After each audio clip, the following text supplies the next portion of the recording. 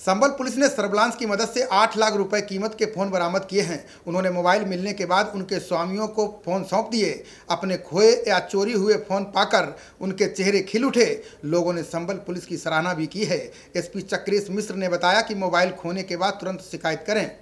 आज जनपद संबल की सर्विलांस टीम के विशेष प्रयत्न से कुल इक्यावन मोबाइल जो लोगों के खो गए थे, जिनकी रिपोर्ट लोग थाने में देते हैं, उसको लगातार प्रयास करके बरामद किया जाता रहता है। उसी क्रम में आज इक्यावन मोबाइल उनके जो ओनर्स हैं, उनको वापस किए गए।